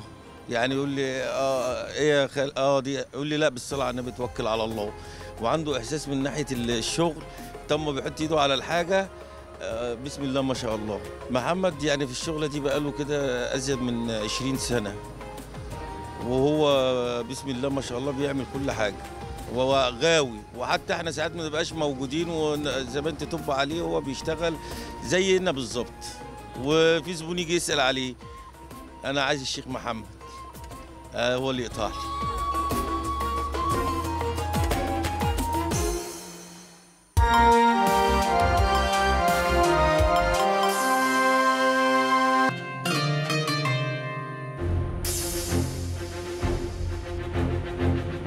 بالنسبة لل- للشخص المسافر من بلد إلى بلد ويحب يقصر في الصلاة أو يجمع ويقصر يعني أنا سمعت عدة روايات. يعني في منهم قال يعني الفترة المحددة يعني هل هي أسبوع أسبوعين شهر شهرين ثلاثة؟ يعني هناك روايات مختلفة حول هذا الجانب. زكاة الإيجارات الشقق والعقارات. إيه، يعني قيمة الزكاة وتدفع إمتى؟ يعني الإيجارات دايما بتكون شهرية. فإما- إمتى موعد استحقاقها ونسبتها كام؟ وتعتبر تبع أي بند من بنود الزكاة في في الإسلام يعني. أنا أم لثلاث بنات. و... وزي ما تقولي كده في حاجات بسيطة هي مش ميراث ميراث يعني. آه لو حبيت إن أنا أعمل وصية ليهم هل دي تبقى فيها حرمانية عليا؟ مدى يعني رأيه هو في تجديد الخطاب الديني وتوحيده ونصايحه طبعا للأئمة المساجد؟ إزاي أو كيف نوجه شبابنا وأولادنا في الوقت الحاضر في المدارس والجامعات توجيها دينيا من خلال البيت ومن خلال ال- المدارس. الزوج من حق له أن يتزوج على زوجته من غير علمها. آه، ده السؤال الأول. السؤال الثاني إني مثلا آه، في رمضان ما قضيتش ال- القضاء فإيه حكم الدين في كده؟ لو ينفع أو يجوز إن إحنا نصلي بالحذاء سواء جماعة أو أو لوحدي. أنا طالع عمرة بكرة إن شاء الله بس نازل جدة وهبات ليلة. فهل هفضل لابس لبس الأحرام ولا هغير ترنج وأطلع مكة؟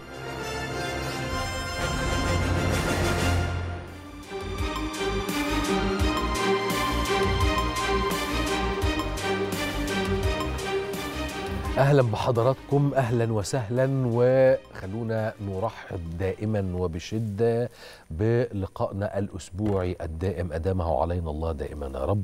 مع ومعادنا الثابت مع مولانا فضيلة الشيخ الدكتور أحمد كريمة آه، أستاذ الفقه المقارن بجامعة الأزهر وأيضا تكريم مولانا من الإذاعة المصرية. مبروك مولانا. بارك الله فيكم والشكر موصول لإعلامنا المصري.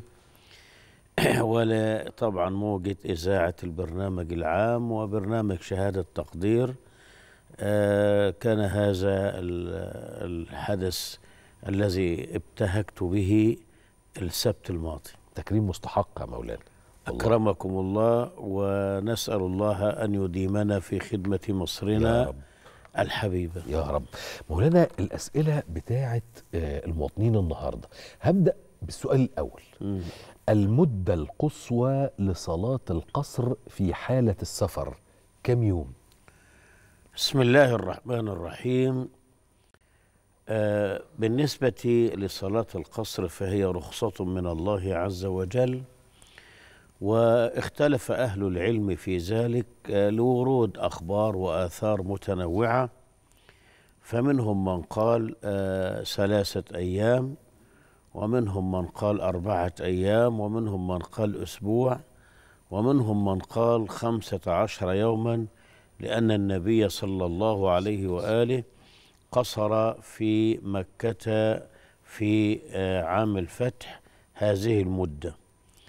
فلكن آه، طبعا مسألة حينما إذا أتينا لتخصص الفقه المقارن يعني اللي هو الترجيح ما بين الآراء الاجتهادية فأرى أن أربعة أيام كافية أن الإنسان بعد السفر آه، ارتاح جسده وعرف المعالم فإن شاء الله يقصر إلى أربعة أيام. خلاص إنه بعد كده استقر به الحال يعني. استقر به الحال بالضبط. طيب قيمة الزكاة على العقارات ومتى تدفع؟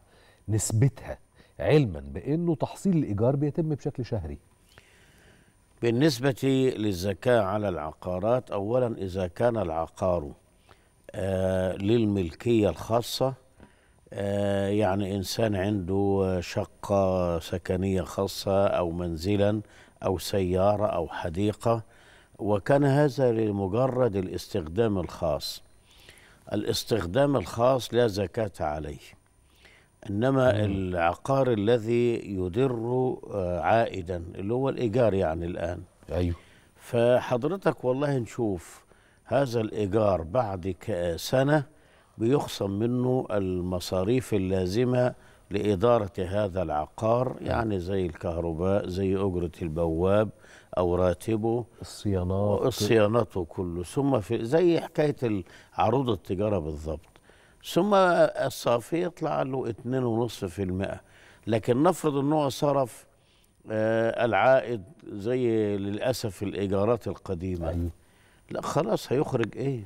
لا ده هيصرف لا ده هيحط من جيبه. آه نعم. والإيجارات القديمة نرجو الله أن يجعل أن يجعل لها مخرجا وحلا. بإذن الله بإذن الله. ان شاء الله. لو تزوج الرجل على زوجته هل من حق الزوجة الأولى طلب الطلاق؟ بسم الله الرحمن الرحيم. طبعا آه لابد أن نرجع إلى الشريعة الغراء ولابد أن نفرق ما بين الشريعة وما بين الفقه.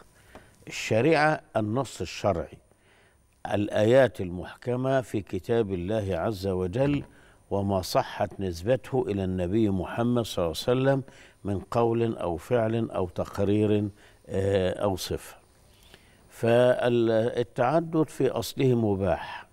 ليس واجبا وليس سنة وليس حراما وليس مكروها لكن هو يبقى على أنه مباح. فانكحوا ما طاب لكم من النساء هذا أمر فيه إباحة لا أكثر ولا أقل. آه، بطبيعة الحال إذا الإنسان فعل المباح هل يعاقب على المباح؟ لا. فلو قلنا إن الزوجة الأولى لها طلب الطلاق. آه، أولا هذا لم يرد به نص لا في القرآن الكريم ولا في السنة النبوية. يعني النبي صلى الله عليه وسلم عدد الزواج الصحابة عددوا الزواج في المسلمون في كل زمان ومكان. فمسألة إن لكن هو آه، الفقه الحنبلي أعطى حلا طيبا. الفقه الحنبلي قال وللزوجة أن تشترط في صلب عقد الزواج عند إنشاء الزواج ألا يتزوج عليها. يعمل بهذا الشرط إذا رضي به. لقول الله تعالى أوفوا بالعقود ولقول النبي محمد صلى الله عليه وسلم المسلمون عند شروطهم إلا شرطا أحل حراما أو حرم حلال. فإذا أخذنا برأي الحنابلة مخرج لأن مذهب معتمد ومعتبر. ده اسمه باب الشروط في النكاح وده شرط صحيح. خدت بال حضرتك. آه كأن اشت... مثل أن اشترط عليه ألا يخرجها من وطنها مثلا آه أو أنها تكمل تعليمها أو أنها لا تمنع من وظيفتها. هذه شروط جائزة تتفق مع المبادئ والمقاصد العامة للشريعة الإسلامية. طيب دي شروط سابقة. سابقة. ووارد جدا إنه ما يجيش على بال الزوجة ولا وليها إن هم يقولوا الشرط بتاع عدم الزواج. جه الزوج تزوج والزوجة الأولى عرفت فترى في ذلك نكد. خلاص نعم. مش عايزاك يا سيدي. يبقى إيه؟ لا في هذه الحالة حضرتك أنا طبعا لا أأمر ولا أنهي. أيوه. لكن. المسألة دي إحنا عندنا من محاسن الشريعة الإسلامية إن في منطقة عفو يعني شوف الرسول بين معالم الإسلام الأربعة إن الله تعالى فرض فرائض فلا تضيعوها وحد حدودا فلا تعتدوها وحرم أشياء فلا تنتهكوها وسكت عن أشياء رحمة بكم غير نسيان فلا تبحثوا وفي رواية الدار فلا تسألوا عنها فهذه اسمها فراغ تشريعي مقصود لإعمال الاجتهاد. فإذا اجتمع الفقهاء بدون إملاءات وبدون توجهات ويعني آه، آه، من باب المصالح وقرروا شيئا مثل هذا يعني في تكييفهم إن إن التعدد قد يلحق أنا بقول قد للتقليل أيوه. قد يلحق ضررا بالزوجة الأولى التي لم تشترط على زوجها. يبقى ممكن المخرج هنا أنها تطلب الطلاق للضرر. صح. مباح. صح. لكن ليس واجبا وليس إلزاما حتى لا يحسب علي أنني أتعدى حدود الله عز وجل. لا لا لا ليس إلزاما. ليس إلزاما. لا لا بس طالما أنها استشعرت الضرر لا. من حقها تطلبه. من حقها. طب طلبته. نعم. أصبح هنا الزوج يعمل إيه؟ لا شيء هنا حضرتك اللي هيقوم بالتطليق القاضي. آه. والقاضي له ولاية. حلو. له له ولاية في الدعاوى القضائية على الأطراف الدعوة طبعا. فاحكام القضاء تحترم. يعني إحنا مثلا عندنا الله يبارك فيك آه، رؤى معينة في تنفيذ الخلع في مصر. لكن آه، طالما إن القاضي أصدر الحكم لا بنحترم أحكام القضاء. فالحكم عنوان لا للحقيقة. لا لا بالظبط. لا لا لا ال- و- والقضاء في الإسلام له استقلالية والإسلام سبق الدساتير المعاصرة. يعني جعل آه، للقضاه استقلالية. يعني شوف حضرتك آه، أنا قصدي فين؟ قصدي نعم. الزوج. مم. القاضي سوف يحكم. نعم. الزوج نفسه أنا أنا مع إنه نحاول الإصلاح ونحاول مم. مرة واثنين وعشرة. خلاص افترضنا إنه هذه المحاولات لا تجدي نفعا. خلاص. الزوج يعمل إيه؟ الصح. لا لا شيء يفضل لا ممسك بالعافية ولا تسريح؟ والله حضرتك برضو الله يبارك فيك. يبقى هنا آه أمر جائز. ليه؟ لأن أصل بعض الناس يفهم- هيفهموا كلامنا إنه إيجاب أو إلزام. هنا القرآن الكريم ربنا بيقول فإمساكم بمعروف أو تسريح بإحسان لكن هيعطي معالجة حكيمة. عسى أن تكرهوا شيئا ويجعل الله فيه خيرا كثيرا. مش كده. ولا لا؟ صح. طيب. لكن خلونا نروح لفاصل نرجع مرة تانية مع مولانا فضيلة الشيخ الدكتور أحمد كريم وأستاذ الفقه المقارن بجامعة الأزهر. استنونا لأنه للسؤال ده تحديدا بقية. فاصل ونكمل الكلام.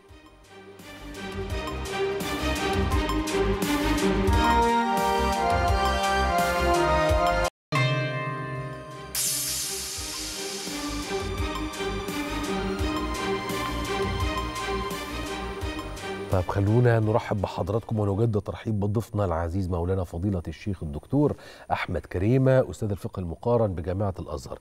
وكان للسؤال بقية. نعم. هنا بقى وهل من حق الرجل أن يخفي زواجه الثاني عن زوجته الأولى؟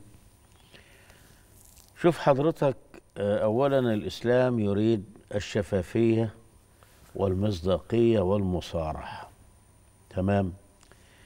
آه وبرضه هنا إحنا بنوازن ما بين المصالح والمفاسد. والله يا سيادتك اولا الأصل في الزواج الإعلان لقول النبي صلى الله عليه وآله هذا الزواج أعلنوه في المساجد واضرب عليه بالدفوف.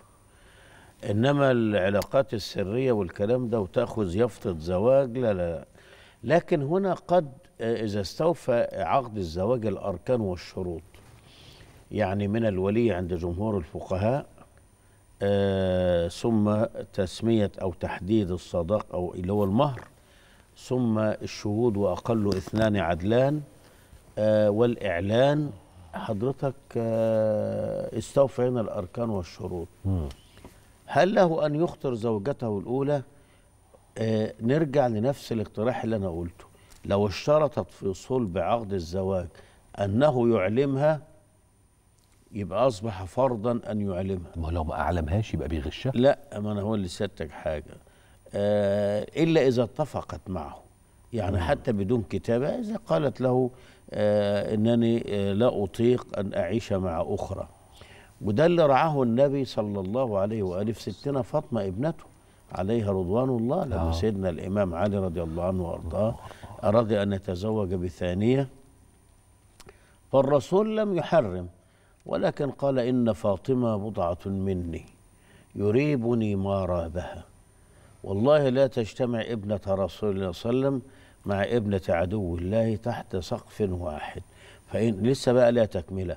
فإن أراد ابن أبي طالب أن يتزوج عن الزواج الثاني فيطلق ابنتي. نعم الرسول فعل ذلك.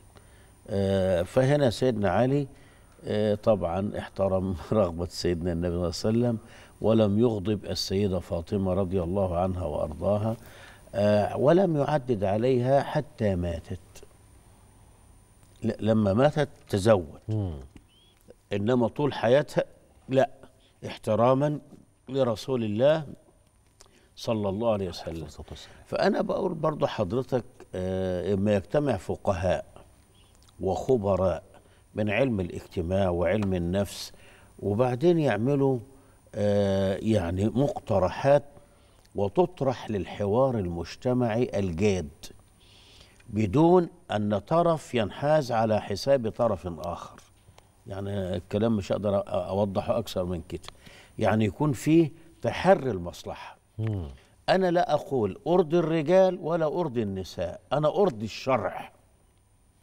الشرع رحمة طبعا. يعني أنتم أدرى بشؤون دنياكم صحيح. خدت بال حضرتك. فهنا لا مانع أن علماء كما قلت الاجتماع علماء علم النفس علماء خبراء في فقه الأسرة مع فقهاء الشريعة الإسلامية. يبقى ورشة عمل مشتركة والمستجدات بس لا تخالف نصا شرعيا. يبقى في اجتهادات وحلول لمستجدات ومستحدثات ونوازل وطوارئ وعوارض شرط ألا تصادم نصا قطعيا. يعني أقدرش لو خب عنها. غشاش ولا مش غشاش؟ لا شوف حضرتك قد تكون هناك ظروف أنا لا أعز يعني لا ألتمس له عذرا وقد يكون إن الإخفاء لمصلحة الأسرة. إنما آه، إمتى يكون بقى يعني عفوا آه، تجاوز؟ إذا عاهد إذا عاهدها. آه. يبقى هنا بنقول له إيه ال- ال- ال- ال- إذا- وأوفوا بعهد الله إذا عاهدتم ولا تنقضوا الأيمان بعد توكيدها. ماشي. وعشان الوقت جري بس أنا كنت لسه عاوز أكمل بس هنعمل إيه؟ عموما الجايات كتير بإذن الله. يدي لك العمر يا مولانا ويدي جميع المشاهدين. قادر يا كريم. أشكرك جدا جدا جدا يا. مولانا على وجودك معنا النهارده وشكرا جدا على هذه التفسيرات والإيضاحات وهنستأنف الكلام بإذن الله الاثنين الجاي. ربنا يديلكم العمر خلصت الحلقة لحد كده. ولو كان لنا العمر نقابلكم بكرة إن شاء الله.